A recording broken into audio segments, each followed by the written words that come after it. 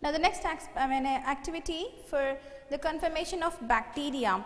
Now here I just I just uh, have taken one or two drops of buttermilk and I am just going to smear it.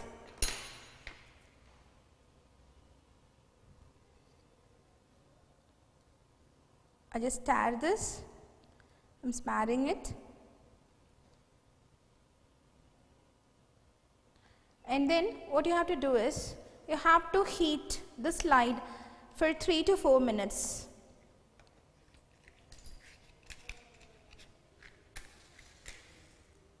You have to heat the slide for 3 to 4 minutes.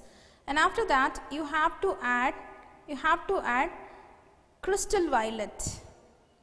3 to 4 minutes you have to uh, heat it. And after that you have to add crystal violet. For 30 to 60 seconds it should be it should be kept like that. And after that when you observe through microscope with the help of a, I mean, a needle without bubble you have to put a cover slip.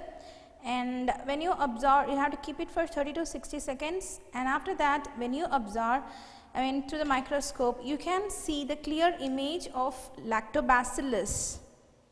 Can see the clear image of lactobacillus. Okay, now uh, what I observe through the microscope is on the on the pig. You can you can take your I mean you can uh, see the diagram and you can uh, take the diagram in your notes.